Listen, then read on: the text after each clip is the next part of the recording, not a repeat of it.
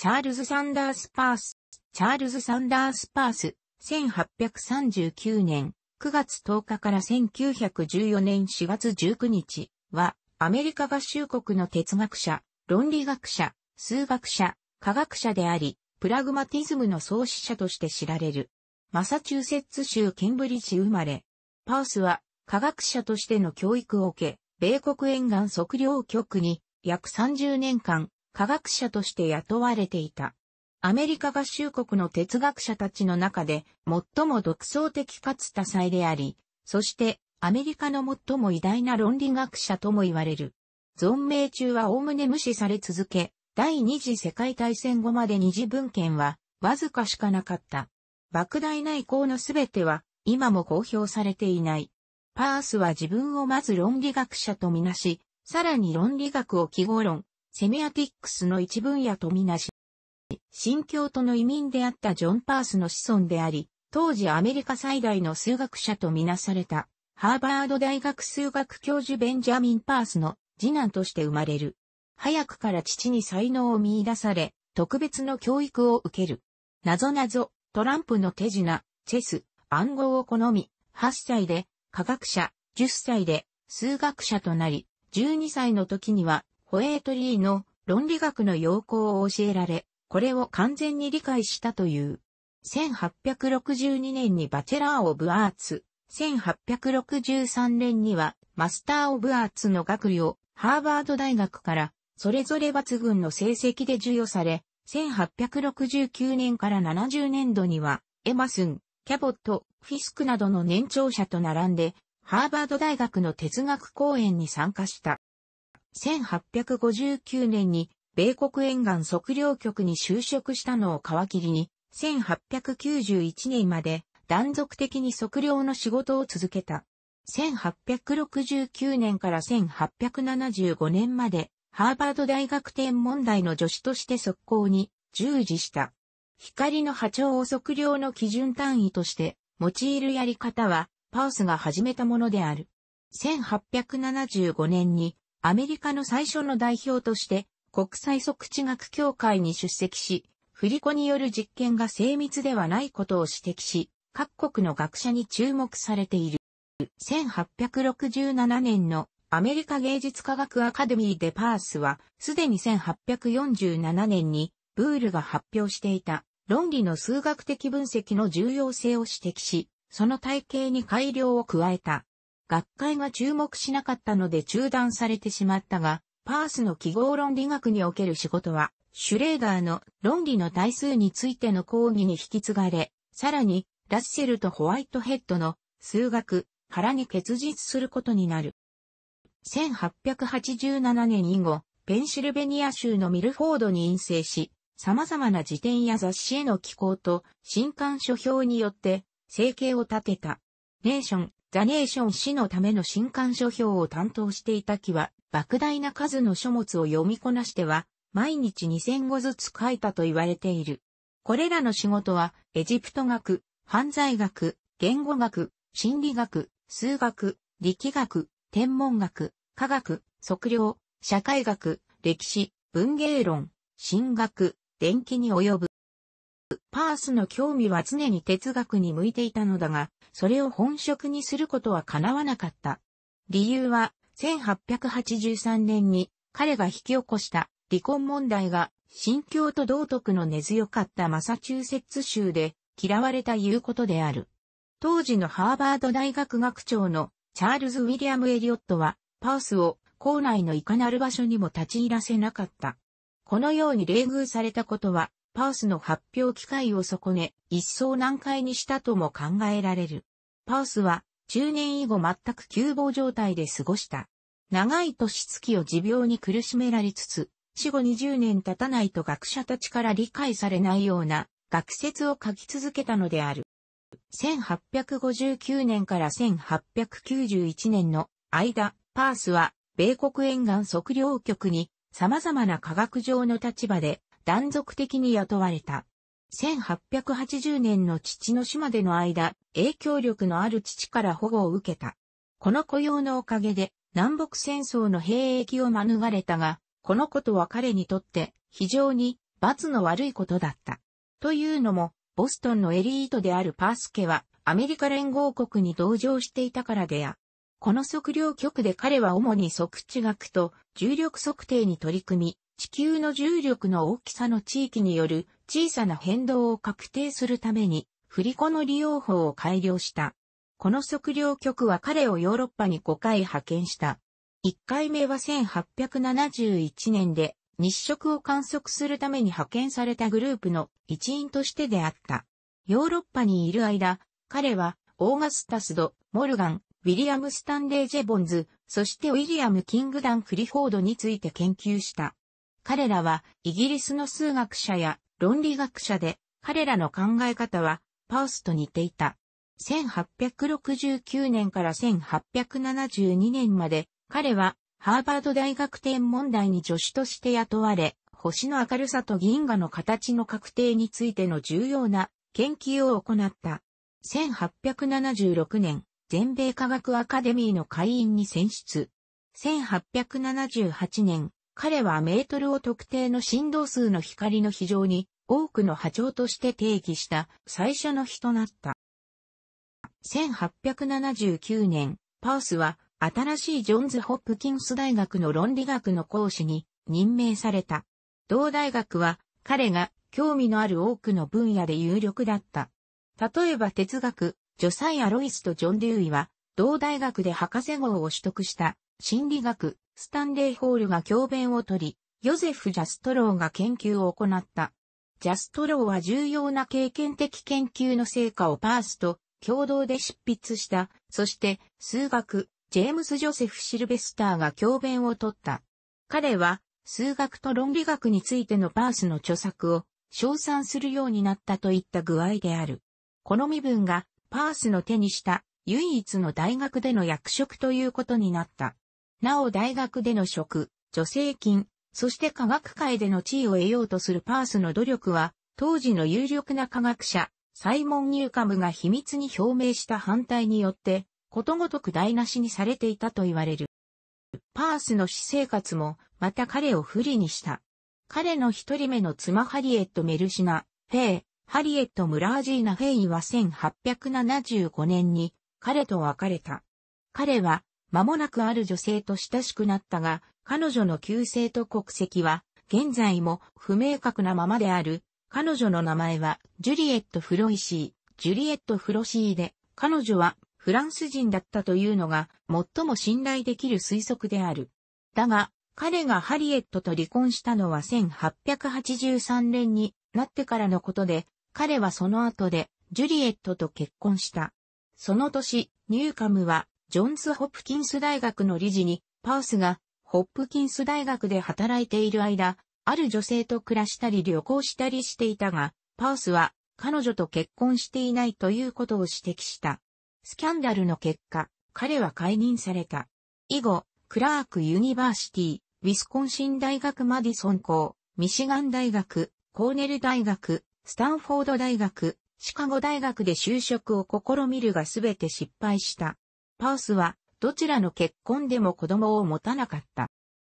1887年、ペンシルベニア州ミルフォード近くの2000エーカー、8平方キロメートルの田舎の土地を買うために、両親からの相続財産の一部を支払ったが、この土地が経済的収益をもたらすことは決してかった。彼はそこに大きな家を建て、家にアリスベ、リスビーという名前を付け、人生の残りの期間を過ごし、大量に執筆をしたが、意向の多くは公表されていない。生活は間もなく深刻な金銭的、法的困難を引き起こし、最後の20年間の多くを、冬は暖房なしで過ごし、地元のパン屋が親切に寄贈してくれた古いパンをいつも食べていた。新しい文房具を買うことができないので、彼は古い原稿の左側に執筆した。彼はしばらくの間ニューヨーク市で逃亡者になることになった。彼の兄弟ジェームズ・ミルズ・ピアースと彼の近所の人たち、ギフォード・ピンチョットの親類の人たちを含む何人かの人たちが彼の借金を処理し、彼の固定資産税と貸付金を支払った。パースは科学技術関連のコンサルタントをやり、原稿料を得るために大量に執筆した。執筆したのは主に辞書と百科事典の項目、ネーション誌での書評だった。他、スミソニアン博物館のサミュエル・ラングレー館長からの強い勧めで、同館向けに翻訳をした。パウスは、動力飛行についてのラングレーの研究のために、大量の数値計算を行いもした。資金を稼ぐことを望んで、パウスは発明をしようと試みた。彼は多くの著書を作ろうとしたが、完成させることはできなかった。これらの困難な時期にパースを助けたのは、古い友人ウィリアム・ジェームズだった。ジェームズは、ハーバード大学周辺で、パースの連続公演を企画した。また1898年からジェームズが亡くなる1910年までの間毎年、ジェームズはボストンの友人たちにパース支援の寄付を要請した。パースはジェームズの長男をジュリエットが自分より先に死んだ場合の自分の遺産相続人に指名することによって返礼した。パースはペンシルベニア州ミルフォードで極貧状態で亡くなり、彼の妻はその20年後に亡くなった。パースは数学を哲学よりも一般的、普遍的、抽象的な学問分野とみました。彼は生涯を通して何度か哲学の分類を試みているが、1902年以降の最終版の分類では、彼は哲学を2種類、すなわち第一哲学と最終哲学ないし、総合哲学に分けている。第一哲学の本質をうまく捉える用語として、パウスはジェレミ・ベンサムのセナスカッピーを採用している。セナスカッピーは共通のものの観察を意味するギリシア語のカッパ、イオータニューシグマカッパパイに由来する。この名称の通り、パースは第一哲学を特殊な実験を行わず、人間の日常生活における観察から得られるデータに基づく実証学として捉えていた。第一哲学はさらに現象学、規範学、そして形事上学に分類される。セナスカッピーに対峙されるのが実験や探索などの特殊な観察方法に基づくイディオスカッピー、すなわち特殊科学である。イディオスカッピーは固有なものの観察を意味するギリシア語のイオタデルタイオタシグマカッパパイオタに由来する。最終哲学ないし総合哲学の仕事は、それぞれの特殊科学の成果を統一的な視点から合することである。パースの純粋数学における研究は、数論、線形代数学、トポロジー、リスティンク数、社営幾何学、四色問題、集合論、ブール代数、そして連続体の研究に及ぶ。応用分野としては、経済数学、地図の投影法、確率論、統計学などを研究した。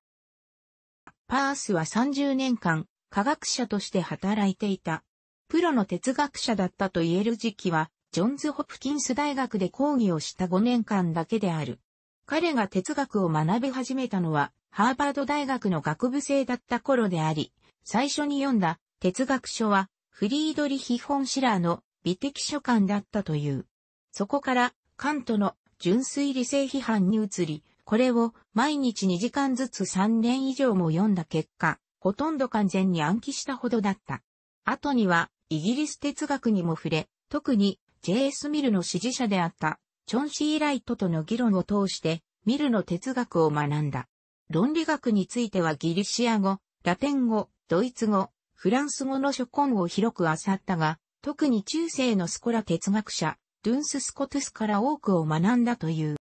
以下、第一哲学の解分野である、現象学、規範学、形事上学の順に、パースの哲学を見ていく。パースの論理学の中核にあるのが彼のカテゴリー論である。彼は、ある箇所で、自分のカテゴリー論が、私が世界に送るギフトであり、私、私の身体が跡形なく、滅びた後も、私はその中に宿ることだろうと述べている。その中でも特に重要な位置を占めるのが、1868年の新しいカテゴリー表についてという論文である。晩年になってもパースは、新しいカテゴリー表が論理学的観点から見て、私の書いたものの中で最も不備の少ない論文であると述べ、哲学への私の唯一の貢献であるとまで評していこれらの発言から、パースがいかにこの論文を重視していたが伺える。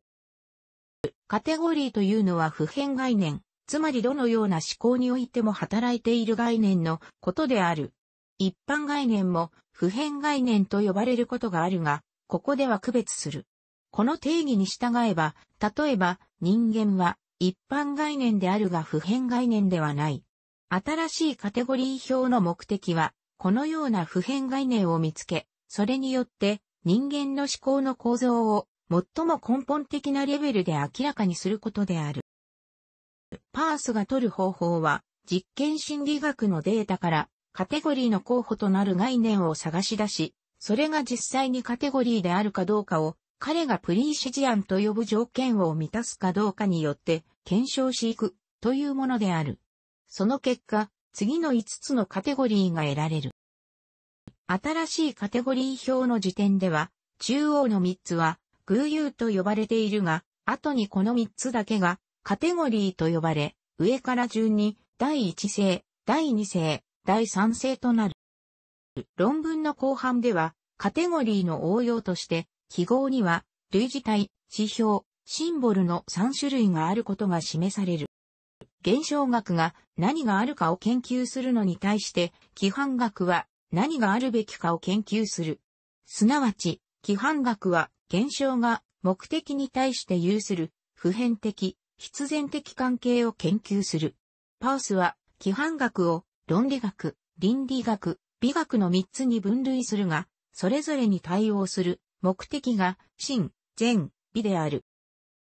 美学は、あらゆる振る舞いに影響を与える、諸目的についての研究であり、他の規範的諸研究の基礎に位置するとパースは考えた。倫理学は、目的一般ではなく、人間行為に関わる、良し悪しのみを研究するという意味で、美学の特殊分野である。論理学は人間行為の内思考のみを扱うという意味で倫理学の特殊分野である。パースは自分をまず第一に論理学者とみなしていた。しかしパースが論理学というとき、彼が念頭に置いているのは現代の哲学者が論理学として理解可能なものよりもはるかに射程が広い。パースにとって論理学は広く探求の構造と方法を研究する学問分野である。そして探求というのも科学的探求に限らず、あらゆる思考や知覚過程を含む。パウスは1898年に行ったケンブリッジ連続講義の第4講義論理学の第一規則で次のように述べている。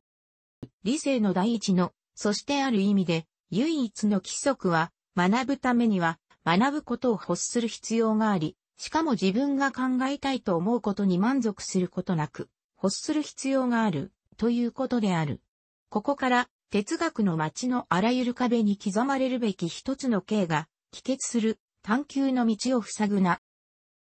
パウスは、1868年にジャーナル・オブ・スペキュレイティブ・フィロソフィーに掲載された論文、人間に備わっているとされるいくつかの能力に関する疑問において、当時様々な形で広く普及していたデカルト哲学を批判している。パースのデカルト主義批判の要は、後者が直感に訴えるという点である。直感というのは直前の認識によって決定されないような認識、言い換えれば前提なき結論である。ここでパースの議論において重要なのは絶対的に不価値なものの概念は自己矛盾であるという点である。どのような特定の思考についても、それから独立のものを考えることできる。というのも、そうでなければ、認知的語尾の可能性がないことになってしまうからである。しかし、思考一般から独立のものを考えることはできない。なぜなら、あるものを思考一般から独立なものとして思考することは、やはりそれを思考することであるからである。故に、絶対的に不価値なものの概念も思考可能であるが、そうするとこれは A、非 A という形式の概念になってしまい、矛盾概念である。ここからパースは、最も広い意味における認識可能性と存在は、刑事上学的に同じであるばかりでなく、同義的な用語であるという結論を引き出している。したがって、感とのもの自体のような概念は退けられなければならない。さて、直感というのは直前の認識によって決定されないような認識であった。しかしある認識を説明できるのは、それに先行する認識を提示することによってである。故に、直前の認識によって決定されないような認識は、絶対的に説明不可能ということになる。しかし、上で見たように、絶対的に不価値なものの概念は自己矛盾である。故に、直感の能力の存在を仮定することは、矛盾概念を含意する。したがって、そのような能力は存在しないと考えるべきである。同じく1868年にジャーナル・オブ・スペキュレイティブ・フィロソフィーに掲載された4能力の否定の初期決の冒頭においてパースは自分が人間に備わっているとされるいくつかの能力に関する疑問に応ていったデカルト主義批判を次の4点にまとめている。編集中、編集中、編集中、パースの刑事上学は1878年の自然の秩序などに、その方ががすでに見られるが、その輪郭がはっきりしてくるのは1884年のデザインとチャンス及び1887から1888年の謎への挑戦にお手である。パースの初めての体系的な刑事上学の著作は1891から1893年にかけて、モニスト史上に掲載された、モニスト刑事上学シリーズである。その内容は、以下の通りである。また1898年に行われたケンブリッジ、連続講演、推論と事物の論理も、パースの刑事上学が、体系的にまとまっているテクストである。以下、これらのテクストに沿って、パースの刑事上学の主要な教説を外観する。パースの偶然主義については、モニスト刑事上学シリーズの第2論文、必然性の教説再考が詳しい。そこで彼は、必然主義の立場を次のように定義してい、必然主義の命題は、ある時点において存在する物事の状態と一定の普遍な法則とを合わせれば、他のあらゆる時点における物事の状態が完全に決定されるという命題であるというのも未来の時点だけに限定するのは用も不可能だから。偶然主義は必然主義の否定である。つまり自然法則の支配は絶対的ではなく規則性からの何らかの逸脱が常に存在するという立場である。その論拠としてパースは以下の古典を挙げている。連続主義はパースがギリシア語のシグマウプシロンニューイプシロン解、シュネケース、連続的から暗出した造語である。彼自身の説明によれば、連続主義は何らかの絶対的な形事上学的、強説等よりは、我々がいかなる仮説を編み出し、検討すべきかを規定する、論理学の規範原理である。平たく言えば、連続主義はあらゆる物事に連続性を見出して、いこう、という考え方である。ここで連続性という概念をどう理解するかが問題であるが、パース自身、生涯を通して数学における連続性概念について試作を深めていった経緯があり、一つの固定的な捉え方があるわけではない。ただ、1895年以降、彼の思考が成熟していくにつれて、一つの明確なモチーフが浮かび上がってくる。それは、真の連続体はいくら無限に要素があろうと、単なる集合に還元することはできないという発想である。ゲオルク・カントールは1874年の論文で連続体を実数全体の集合と同一視したが、パースはこれを疑似連続体と呼んで退けている。彼によれば、真の連続体は集合の濃度によって決まるのではなく、要素同士のつながり方によって決まる。そして、真の連続体に特徴的な要素のつながり方は直接的連結だと彼は言う。二つの要素 A と B がある意味において同一であるとき、A と B は直接的連結の関係にあると定義する。しかし、このある意味においてが問題である。ケンブリッジ連続講義の第3講義、関係項の論理学に、この問題を解いてくれそうな例がある。連続的な線に点を書いたとする。次に、その点の箇所で線を切断し、左側の領域 L と右側の領域 R を作る。そうすると元の点は2つの点になる。一つは L の右端に、もう一つは R の左端にできる。ここで再度2つの端をくっつけると、2つの点はまた1つに戻る。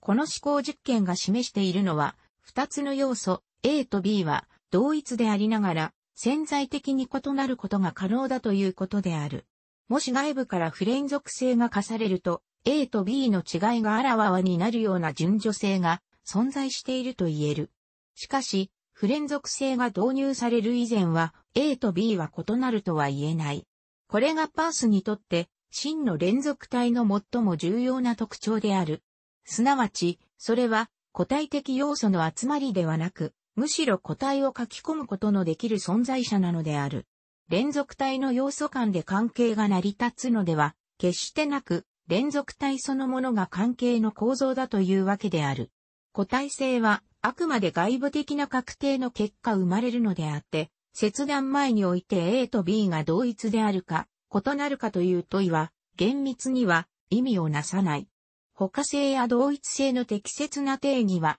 個体の世界を前提とする。個体から構成されていないような世界、すなわちあらゆる部分が動詞の部分からなるような世界においては、個体が認められる限りにおいてのみ他性や同一性は成り立つ。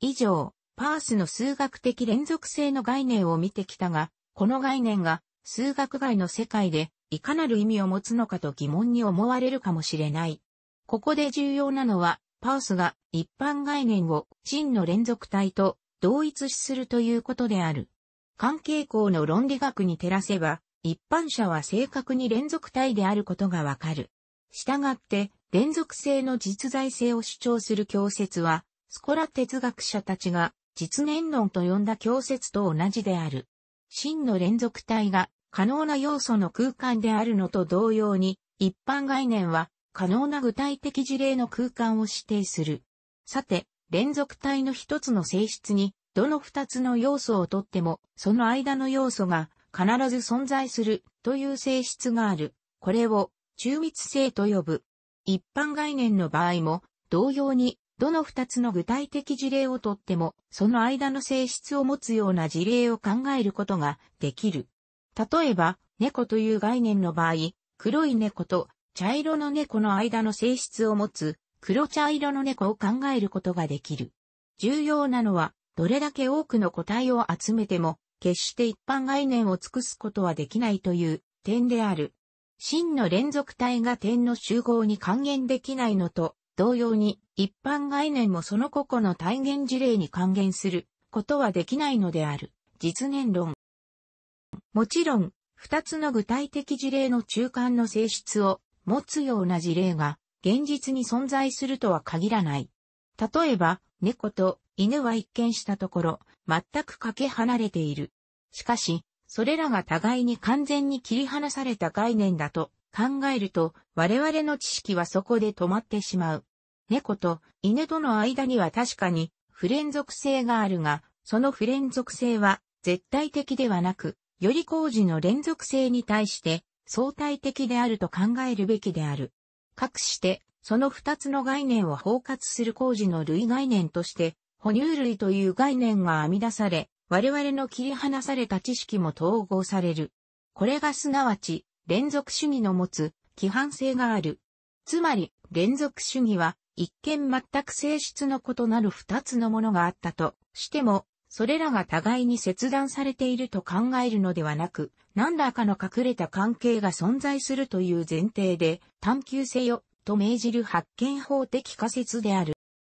パースが挙げる例に睡眠と覚醒というのがある。我々は普通、起きている状態と寝ている状態は全く異なる状態だと考えがちであるが、実際は我々が寝ている時も我々が思っているほど寝ているわけではなく、また我々が起きている時も我々が思っているほど起きているわけではない、と彼は言う。がと、何時の違いについても同様である。連続主義者は私は完全に私であり、あなたではないと言ってはいけない。また生と死も連続的であり、あくまで程度の差だと彼は述べている。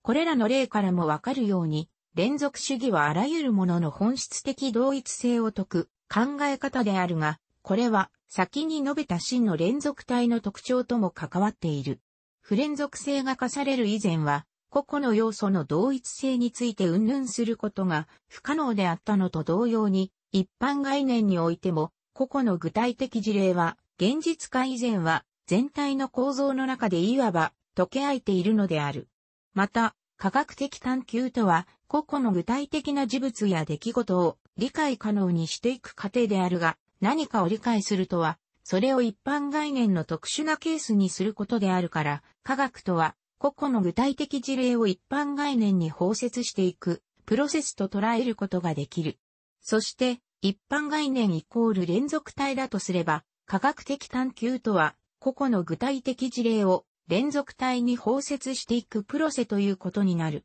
これがパースにとっての最高善である。宇宙進化の究極の目標は、あらゆるものが一つの完全な連続体として結晶化することである。我々人間は、その宇宙進化の極小な一部を担っていると彼は考えていたわけである。連続主義の心身問題への応用として、精神と物質の連続性が帰結する。精神の法則においてパースは次のように述べている。私が提示した原理によって次のことが要請される。すなわち、これらの色や音などの感覚は連続的に神経に伝達されるから、それらに似た何かが刺激源自体にあるはずだと。